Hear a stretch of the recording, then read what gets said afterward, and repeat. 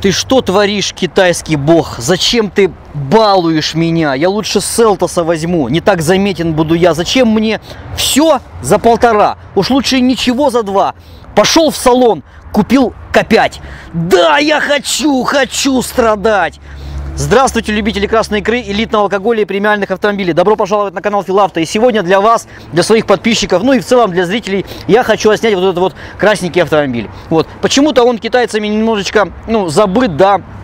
На первое место поставлен э, Кулрей, но тачка заслуживает внимания, тем более в таком охрененном цвете, тем более такие обозначения Джили, э, GS или GS, ну то есть, опять же, двухтрубья, да, причем в одной труба, а в другой хрен. Давайте сразу тогда, не отходя от кассы, будем смотреть багажник. Автомобиль на самом деле очень интересный, потому что это, ну не как вы все привыкли, это не турбовый, ну об этом мы еще поговорим. Смотрите, вот такой вот багажник, причем смотри, здесь сделано, ну то есть если сюда насыпать картошки, да, то она в принципе не выпадет, если ты откроешь багажник. У нас здесь, опять же, как говорит мой консультант, запрещенные китайские технологии, да, вот здесь у нас получается... Ох, ты ни черта себе! Так это попахивает Шкодой. Так, сделаем вот так вот. Смотрите, у нас здесь, ну, естественно, дорожный набор, да. И что у нас там? Надо обязательно посмотреть. Докатка. Вот, причем тут куски рубероида видны. Ну, шумку мы еще посмотрим.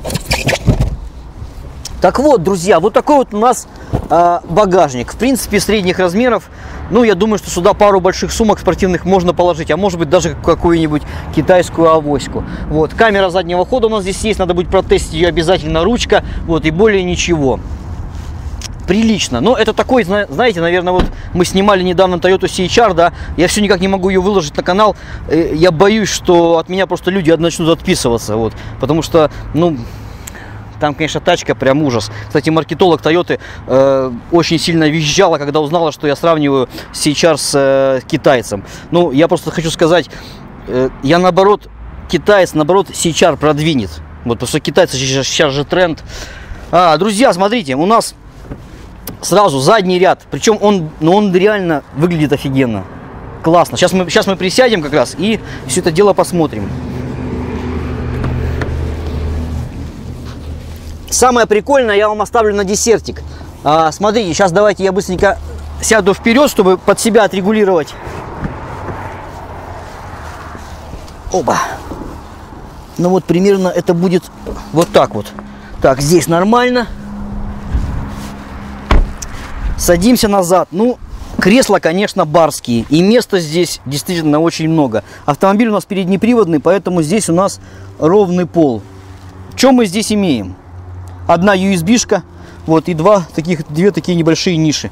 Вот, никакого пластика здесь, все четко. Если нужно, если там ребенок вам пинает а, вот в эту часть ногами, ну, допустим, у меня в Hyundai здесь такая вот, ну, такой полиэтиленчик сделан.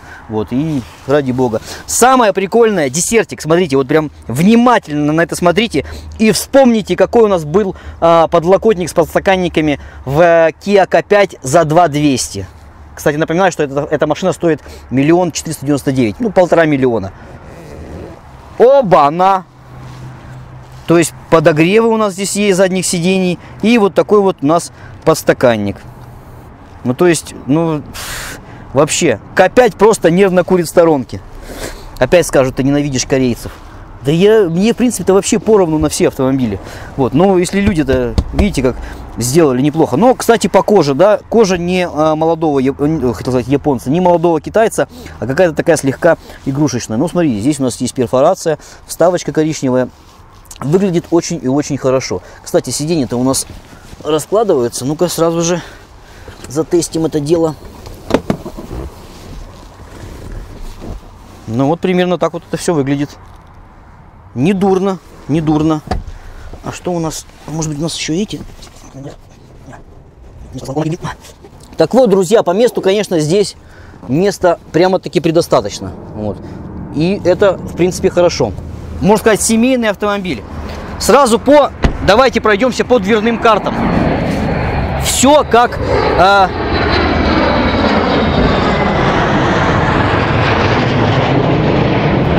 все как э, сделано, ну, как, как в добротном китайце. То есть у нас здесь все мягенькое, вставочка такая, здесь металл. Самое, наверное, главное, это здесь не то, что главное, а интересное. Кстати, опять же, друзья, хочу передать привет э, владельцам Kia K5 за 2 миллиона рублей. Бесключевой доступ, сенсорный причем. Вот. А у вас с кнопкой. Опять же, привет э, аркановодам. Дисковые задние тормоза. А у вас барабанные. Привет. Так, открываем. Мотор. У нас получается здесь вообще на Россию идет а, два варианта. Это механическая коробка передач и робот шестиступенчатый. По моторам здесь у нас 1.8, 133 лошадиные силы. Здесь у нас, естественно, никаких газовых опор нет. Вот, получается вот такой вот двигатель на э, роботизированной коробке передач шестиступенчатой Гитрак, сухая коробка передач. Вот, ну, блин, конечно, тут грязновато, но, по крайней мере, видно, да, что пыль сюда пробирается. Вот, имеем вот такой вот небольшой, небольшую резинку, ее, конечно, побольше, и такую небольшую шумку. Но, смотрите, у нас получается капот совсем маленький. То есть такой, ну, блин, странный, он даже не похож на Кулерея. Вот, все, в принципе, здесь, ну, в доступности, да. Заливная горловина рядом с генератором ну как бы нормально. Бачок похожий на бачок Volkswagen. Вот, 133 лошадиные силы. Мы сейчас их проверим, здесь постоянки погоняем, посмотрим, как они будут дуть. Но, судя по тому, что здесь атмосфера, наверное, разгон будет не очень хорошим. Кстати, мотор здесь такой же, как стоит вот на вот этих вот М-грандах. Вот они стоят, Аня может показать.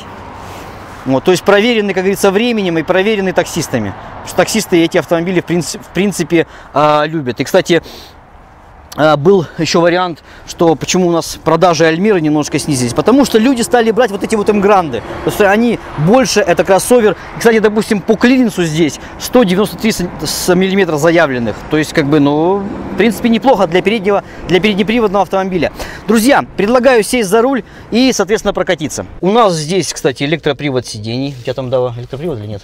Дрезина ручная? Нет, не ручная, только для водителя. Так, так вот, э, у нас шестиступенчатый робот. Вот такой вот руль. Он, ну, руль сняли с атласа, да. Естественно, здесь у нас ручная дрезина. Но, по сути, вот впереди, ну, блин, сидится комфортно. Кстати, вот эта вот панель тоже от атласа, да. То есть, прям вот это вот от атласа. Вот, что у нас тут с прошивкой? Нату, а, натуральная нить, настоящая. Привет, Kia Sorento Prime за 2 миллиона 600. Вот, стеклоподъемники. Так, сразу давайте запустим. Вот здесь уже... натуральная нить, а здесь нет. А здесь натуральная, да. Но вот здесь-то натуральная. А, а в Sorento Prime вообще нет натуральной. Везде обманка, черт подери. Кнопка старт-стоп, ну, как бы в китайце это ну, нормально. А вот, допустим, я снимал вчера Шкоду Корок, а, там миллион, миллион пятьсот миллион пятьсот с копейками, у нас ключ был. Ключик здесь такой же, как в Атласе. То есть это, блин, это такой мини, мини-атлас, наверное. Но у нас нет здесь, к сожалению, дуг. Но, но зато есть вот такие вот подстаканники глубокие. Причем сюда можно еще и э, кусок бутерброда положить. USB-шка у нас здесь есть. Прикольно. А что для телефона? Нет. Просто... Это маленькая, может под ключ. А, под ключ, скорее всего, да. Ну. Что-то, кстати, думает долго. Может, сколько сидим, да, сколько заведено, а оно только сейчас заработало. Вот, климат-контроль у нас здесь есть. И вот такой вот многофункциональный подлокотник. Кстати, глубокий. Но я думаю, что, наверное, нет, бутылка водки сюда не влезет. Поэтому, поэтому Паша Лазин может обломаться. Так, это сюда. Вот, получается, что у нас? Стеклоподъемники. Автомат здесь. Автомат сзади. Сзади автомат Китайцы, зачем? Зачем? Китайский бог, зачем ты балуешь меня? И, кстати, смотрите, панорамная крыша. Вот что у нас здесь есть. О, вот это кайф. Причем, смотрите, серьезно? двойная здесь, тройная шторка. Офигеть. Ядрит Мадрид. Миллион четыреста девяносто девять. Зачем? Китайцы, вы что творите? Вот подочечника нету. Это минус. И подсветки нет рыла. Это тоже минус. Ну, блин, за это можно много отдать. Так. А, все, слушай, все. Так, так это не открывается. Вот еще получается. Типа обманка, что ли? Да. М-м, блин, здесь обманули. Ну, смотри, какой свет. Обалдеть. Ну что, друзья, давайте прокатимся. Хочется мне немножко давануть. Кстати, показывает расход 9,5, но я думаю, что вряд ли можно, я думаю, что, наверное, его чуть меньше сделать.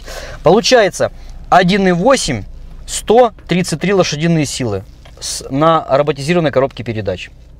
Че посмотрим, что она может.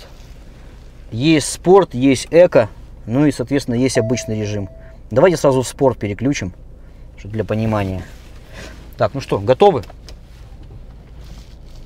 Пристегнуться, наверное. Нет, подожди. что-то- Ох, нифига себе, тут, тут даже педаль, которая как на BMW, смотри, снизу идет. Обалдеть. Да. Нифига себе. Ну-ка. Она пищать будет, наверное, нет? Да и пусть пищит.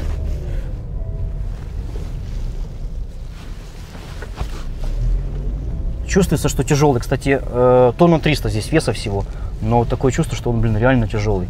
Посадка класс. Вот он больше похож на седан. Такой, не знаю, такой, может быть, минивенчик маленький. Но ближе, наверное, к седану.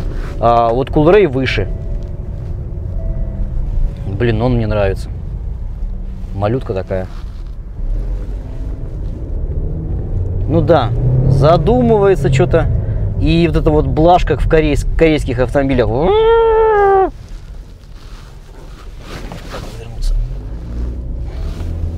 Блин, реально большой. О, кулрейчик стоит. Ну, вид. Ну. Твой? Ты уже заказал, что ли? Нет, не успел. Так, тестим камеру. Ну, камера, блин, нормальная. Вот, по-моему, по-моему, такая же, как в Атласе, наверное. Ну, раз уж здесь у нас мультими- мультимедийка, как в Атласе. Но мне кажется, четче она выглядит. Ну, это такой вариант таксерский, кто не хочет заморачиваться с турбиной, потому что многие говорят, турбина, турбина, там лишняя запчасть. Вот, пожалуйста, атмосфера. 133 силы. Я думаю, прям вообще вкатит, если что. Единственное, что багажник маленький. Глубокий, но маленький. А так, блин. Это, кстати, это вариант конкурент X-Ray. Сейчас, кстати, э, я слышал новость. X-Ray-то вообще продажи провалил, причем конкретно. Ну, вот мне кажется, ходом она будет нормально брать. С места, конечно, она блажит. Точно. О, Пробег 11 тысяч что-то вообще не едет нифига. Ну, что ты хочешь без, без турбины? Мы же привыкли все к турбине. Ну а так в целом для такого комфортного передвижения по-пенсионерски тачка вообще прям в тему. Получается у нас здесь э, есть МКПП, вот также 1.8 и соответственно есть робот. Вот на МКПП, по-моему, три комплектации мы имеем, а уже на роботе одна комплектация luxury. То есть здесь, по идее, должно быть все. Вот. Такой вот неплохой городской автомобильчик. Это был канал Филавто. Всем удачи и покупайте Селтос. Пока. Покупайте Селтос? Селтос лучше, он же ликвиднее.